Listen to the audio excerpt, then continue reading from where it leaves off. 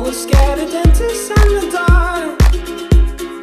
I was scared of pretty girls and starting conversations. All my friends are turning green. Yeah, the magician's assistant in their dreams.